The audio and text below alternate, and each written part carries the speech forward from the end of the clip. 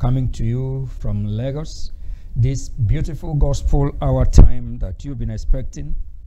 I Want to thank you. You are the reason why we are here.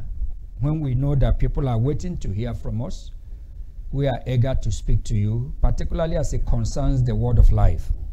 And today we are going to hear something very special, special in so many ways.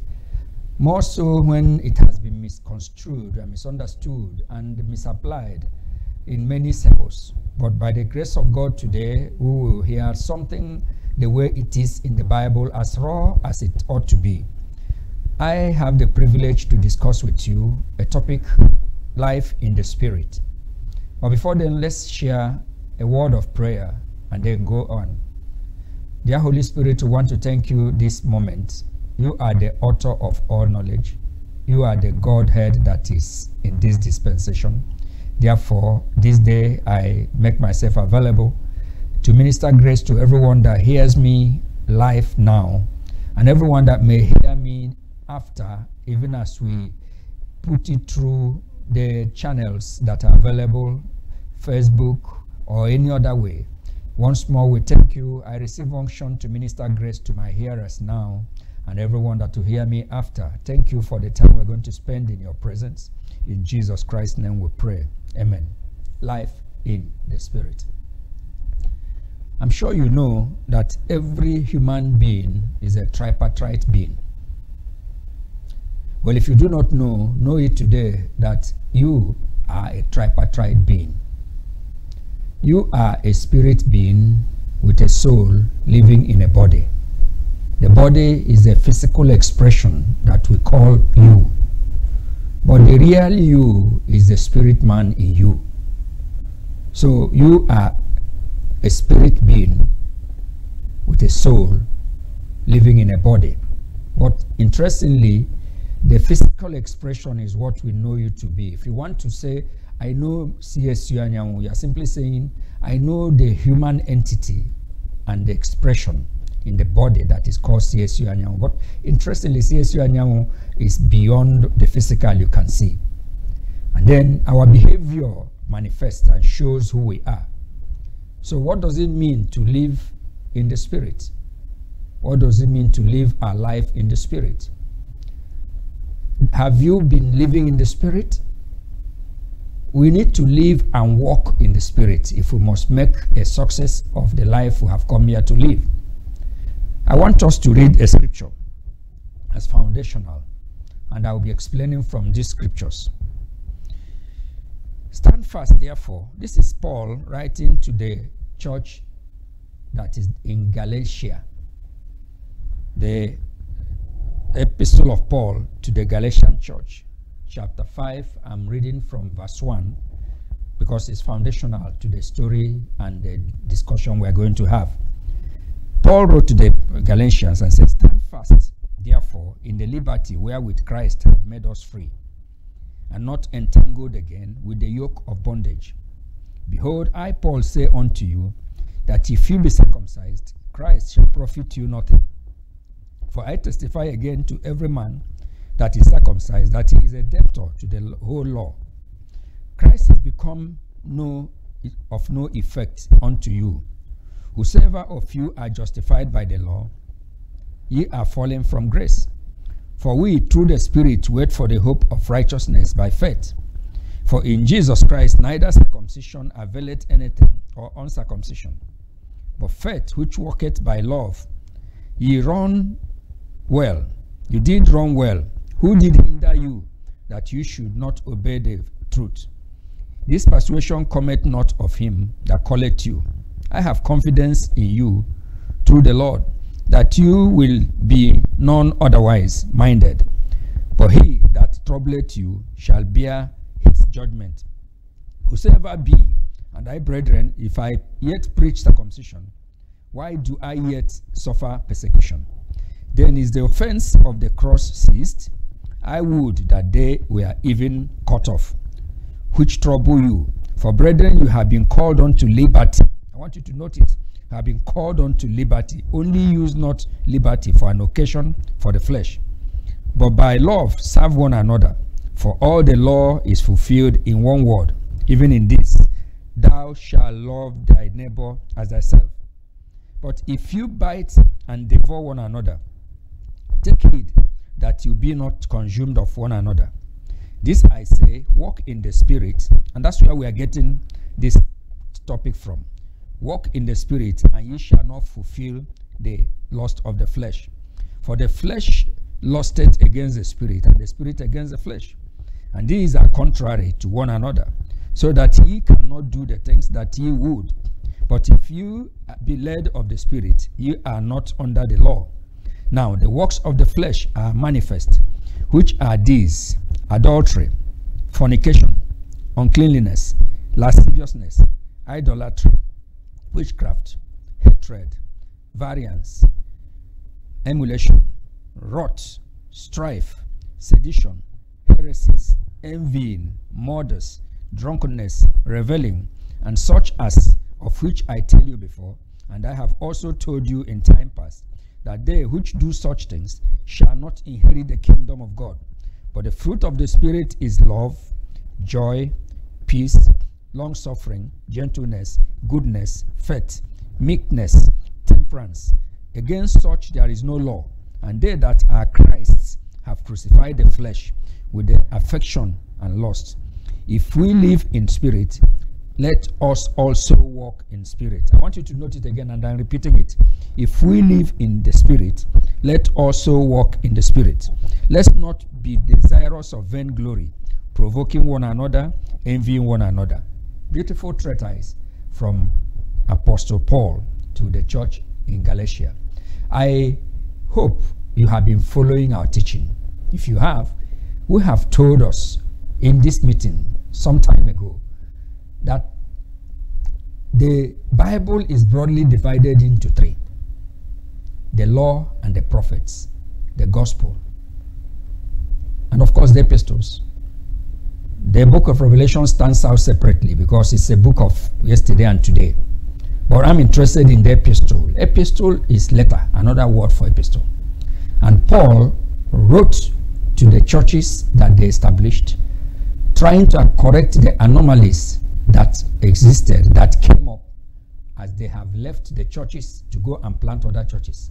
They often get wind of what is going on in those churches that they planted, and each time they get something, they write to them, or he goes there himself, or he even writes and goes there. But in this case, the matter was very simple.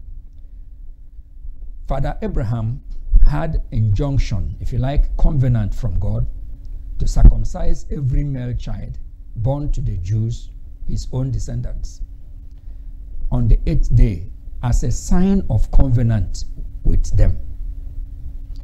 It remained a law and they were doing it. But it was only a symbol of something yet to come. And that something was the coming of Jesus Christ himself. And then the circumcision of the foreskin of our hearts. It was the circumcision of the male organ that was a, a symbol. I hope you also know that the Old Testament is a symbol while the substance is the New Testament. The Old Testament cannot contradict the New or either. So, if you understand how the Bible is, there was a symbol and there is a substance. They are one. They are two sides of the same coin. And in this case, the symbol in the Old Testament was the circumcision of the foreskin of the every of every male child that was born to the Jews.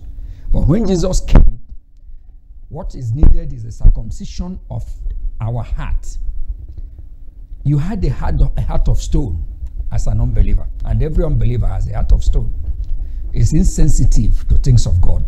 Every heart of stone is insensitive to things of God. Every heart, every every uh, unbeliever's heart that is a stone of a heart of stone swims and lives in sin and doesn't blink an eye.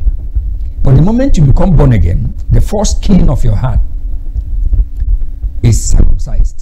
Taking away the foreskin makes your heart sensitive to things of God and of God. Now, what happened in the Old Testament, the foreskin of the male organ, when you remove it, you expose the sensitive and tender part of it. Have you seen an uncircumcised penis before? If you have not seen, when you see one, you see that there's a lot of things clogging around it. It doesn't look neat and it's insensitive till it pulls down, pulls back. That's the like. That is the symbol of that test, of that. Now, what happened was that when Jesus died and salvation came, grace followed. There were Jews who were still glorying in the advantage they had as children of descendants of Abraham and with the covenant. They went to tell the church that is not in Jerusalem, the church of the Gentiles, look, you need to be circumcised for you to become a Christian. That is the only way you can become a child of God. If you are not circumcised, you cannot become a child of God. That was heresy. That was not true. Whether they knew what they were saying or not, but Paul needed to write. This is the letter he wrote to the church in Galatia and telling them, look, this circumcision thing is not relevant in this dispensation now. There is a new circumcision of the heart of every believer. Therefore, whether you're circumcised or not, what matters is that you believe in the Lord Jesus Christ and his atoning grace on the cross of Calvary. That is the background to the story. Now, the important thing here is that he says there is a liberty in the spirit. And we're talking about life in the spirit. What is life in the spirit like? This is a life that is connected to the Lord, to his maker. The spirit, I hope you know also, that controls the physical. It is the spiritual part that controls the physical. What you see here physically existed in the spirit, in the spirit realm, and then became part of the physical that we live. So if you are in control of the spirit, your life in the spirit, you are in control of the life in the physical. Now, the part, the part I emphasized on and I ask you to wait is if you live in the spirit, also walk in the spirit. I repeat it. If you live in the spirit, also walk in the spirit. Living and walking are different. This walking is not W O R K alone, it's also walk as W L K. The emphasis here is W-A-L-K. Walking in the Spirit is that every aspect of your life, your business life, is in the Spirit. You don't live the life in the Spirit in your house or in the church when you come. You need to walk in the Spirit at each point. Living in the Spirit may be easier. So they thought, but I want you to know that anything that is done without faith is a sin a particular organization opened monastery and felt that when they keep man there away from sin and the sinful world and pictures that we see, that the person will become holy. But that's not true. Holiness is not about only what you see. But the truth is, if you live in the Spirit, you need to walk in the Spirit.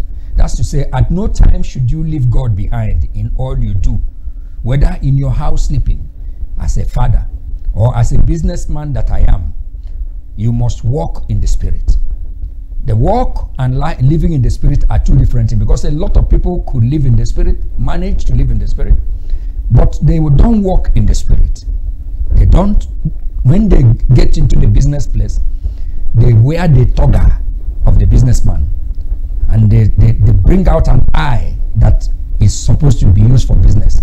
This Bible says, no, it is wrong. If you live in the spirit, you must walk in the spirit. I operate in the marketplace. I know what it is, what it means to operate in the marketplace. I know that a lot of my colleagues will compromise their position. There are certain professions that if you don't join them, you can't operate in it. But a child of God must live in the spirit and walk in the spirit. That's what Paul wrote to them. What am I saying? I'm saying that you are not supposed to only live in the spirit without walking in the spirit. When you take a walk outside your house for anything, you are now walking out of your house. You need to walk in the spirit even there. There is no division, there's no dichotomy in the life of a child of God that lives in the spirit, that walks in the spirit. So now I will read one or two more scriptures and I will be rounding it up. The law of grace. Galatians 5 1 to 6, and I have explained to you. And explained to you each and every one of them. Now, let me give you an interesting aspect of this walking in the Spirit. I'm going to read it from John's Gospel. John's Gospel. And John's Gospel, 21 18. And I will explain it from there. Verily, verily, I say unto you, when thou wast young, thou guidest thyself, and walkest whither thou wouldest. But when thou shalt be old, thou shalt stretch forth thy hand, and another shall guide thee, and carry thee whither thou wouldest not. Oh, how I wish I can make it simpler, but I'll try. King James Bible is peculiar. I still love it. But if you read it in a simpler edition, you will understand. But I, don't worry about that. I will explain to you. When you were young, you could go to wherever you want to go. But when you become old, you will raise your hand to go and uh, you cannot. It doesn't mean that you are becoming incapacitated, but let me tell you, it is a matured mind that is not doing safe will. I thought it would have been opposite. I thought it would have been when you were young, your parents will control you, you have restrictions, and then you cannot do whatever you want to do. And then when you become matured like me, you can now do whatever you like to do. But the Bible says it's not true. Understand me? I had parents that were very loving, but disciplined in so many ways. Growing up in my father's house, they gave me rules of things to do and things not to do. Let me recount some of the rules. Rule number one says, on no account should you leave the four walls of this house when it is six o'clock in the evening. And wherever you are, when it's six o'clock, you must be finding your way back to the house. Rule number one. Rule number two on no account should you leave this house without telling anybody, no matter who, where you're going.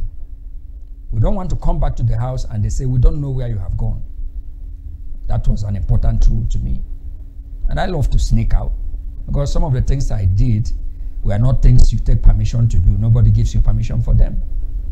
So I will sneak out of the house. And when I get back, I get beaten for doing that. Rule number one was a big rule for me. But do you know I live now as a man of the house? I am the head of my family by the special grace of God. Do you know I can walk out of my house without telling anybody, and nobody would have the guts to ask me, Where are you going? But the rules of my father that I grew up with constrains me to tell everybody, including the house girl in the house, I'm going to so so and so place. Now, have you seen the difference? It's a matured man, a matured man, the spiritual man that puts control on himself by allowing the Holy Spirit to take control. It is the boy who have not grown that wants to go to everywhere and goes to everywhere without restriction. That is what life in the spirit is. If you are living in the spirit, you ask questions. Each time there is a matter. I'll give you some instances. In the process of establishing a stockbroking firm, I needed to get partners, if you like, directors around me. And I had choice of people who wanted to join me in the company. When I prayed, I didn't get a direct yes answer or no. Don't take this person. Don't take this kind of person. Particularly as it has to do with unequally yoking with unbelievers. And I had to go to a senior friend of mine and I, I said to him, this is the situation I'm facing. My chairman is of this faith. These directors are of this faith. And the Bible says about do not be unequally yoked with unbelievers. So what do I do? And I received fatherly and godly counsel from these elderly men. That is it. I could have done it myself and done anything I want to do. But for every step you take as a child of God living in the Spirit, seek counsel if you didn't get a direct answer from the scripture and you needed the answer from a matured Christian better than you, that's living in the spirit. And of course, young men, theirs is when they want to marry. Oh, that is the most important part. They will pray. They will ask you to join them in prayers. As if that is when it matters most. Yes, I agree with you that the choice of a life partner is very important. It could derail a man, it could make a man prosperous, it can, it can take you to hell. if you ever get into a wrong union, I agree completely that it's important that you, you, you, you must have to pray through. But God is interested in all you do, not just in marriage. Oh, I didn't know that God is interested in the dress I wear. One day I wore a dress and the Spirit said to me, No, you can't wear this dress again. I packed it up, gave it out immediately. God is interested in things you go out with on a daily basis. I'm talking about the spiritual man. I'm not talking about anybody who lives his life anyhow. You can get up in the morning and get dressed and eat whatever you like and move. God is interested in what you do. I will not forget a day I dressed to leave my house. And I had it clearly, the Spirit said to me, Go and change this suit. And I looked at the suit. It wasn't one of my best suits. It was one of those, you know, eh, because of my profession, I wear suits five times in a week. And it wasn't one of them that is neat. And the Spirit insisted that I should go and change it. And I went in and changed it grudgingly. I was saying, What is this? Got to the office only to discover that an important appointment that I've been waiting for, the letter was waiting for me. And I dare not go to that appointment with any house suit because you are dressed the way you dress. People said it. And the Holy Spirit helped me in that matter. I can call so many times, so many times that the Holy Spirit had come to my head. So living your life in the Spirit requires that the Holy Spirit is in control. Never will you be in control as to do your own things. And of course, He speaks. Some other times, you know, the songwriter made it beautiful for me. He said, When darkness seemed to hide his face, I rest on his unchanging word. That is a recipe. Because it's not every time that you want an answer that you get from God. God is sovereign. It's not your houseboy that he must answer you. But when he is silent, he has given you where to rest his unchanging word, the scripture. So each, each time that the Lord didn't speak expressly, look for the Bible portion where the same matter is handled in the spirit and you can handle it. So life in the spirit is a life of liberty. It's not a life regulated by all kinds of law. But again, you must know that it is not a situation of lawlessness. No, no, it's not. It's not a lawless situation. I just explained to you what my life was growing up in my father's house with all the restrictions. And today, I am free. I can afford to leave my house and go out for one week and I come back. If you ask me, I tell you that I'm a man of the house. I have authority over everybody, including you. But I won't do that. I dare not do that. Am I under uh, forced not to do it? No. But the Spirit of God in me, because I'm a man of the Spirit, will not let me do that. So, life in the Spirit, it's a beautiful life. It directs your step, it takes you off. Sometimes, when He decides not to talk to you, He takes you off. Let me tell you what my typical day looks like. Maybe I'll close with that. I get up in the morning. I don't get up my bed immediately. I look through my days in the eye of the Spirit. How would it be like? Where am I going? Where should I go? And I organized my, my, my, my day in my head. And then I prayed my prayer. Then come out for the morning devotion. In my family, we pray every morning, we sing every morning. And when I'm done with that, people that need to go faster, these days I don't leave the house very early because I do some work at home. I take my shower. Each and every one of them had spiritual backing and I leave my house. When I get out, my car is ready, my driver is ready, and I enter. I prayed over his head, committed him to the hand of God, and the day is going to be smooth.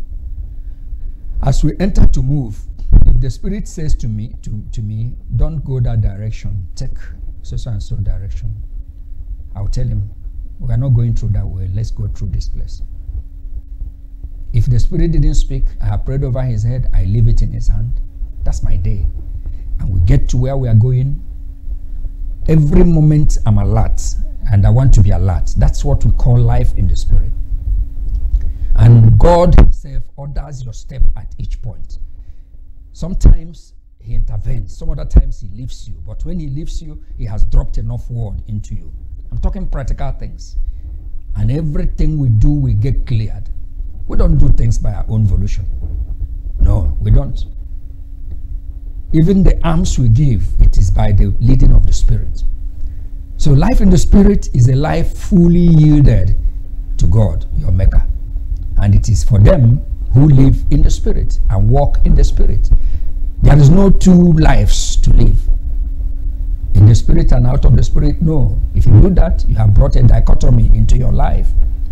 But if you must walk in the Spirit, the first step is to give your life to Jesus. And when you do, He begins to order your step at each point, begins to speak to you, begin to speak to you. If the, it, it's a very big danger if you live in the Spirit and don't walk in the Spirit. I repeat it. The way to walk in the Spirit is to first give your life to Jesus. Those decisions have been taken by the rule of the tongue, the Holy Spirit to guide you and take it from for you. Have you imagined, for instance, what you did in a dream that you would have thought you shouldn't have done? It's because you are not in you are not in control of your spiritual life.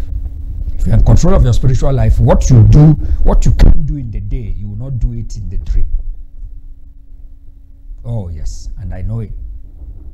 Uh, let me share. Maybe this will close it eventually before I make the altar call.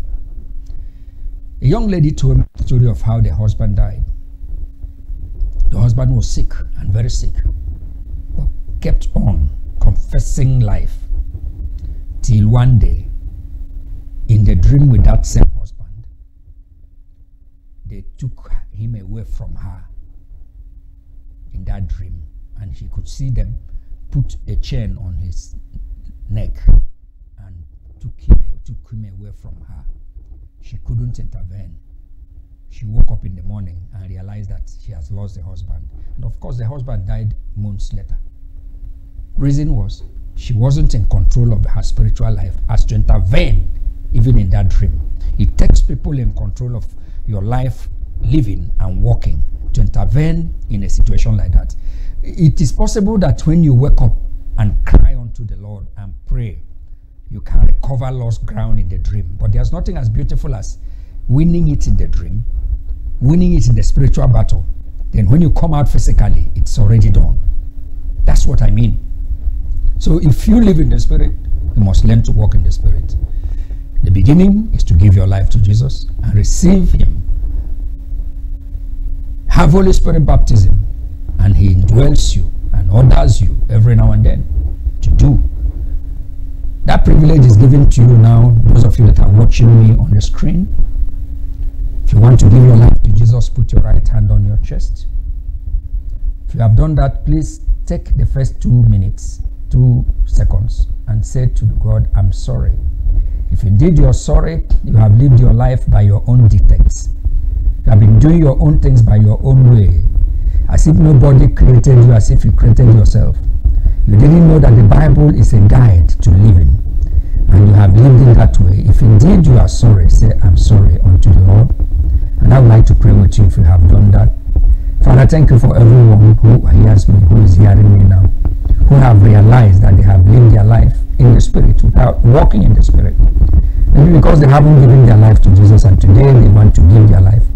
I pray that you remove their names from the book of death into the book of life. Henceforth, henceforth, henceforth, when they move, you are with them. At each point, in dream, in life, in reality, as they walk in the business place, you are with them. You will not lead them into temptation, you lead them away from all evil.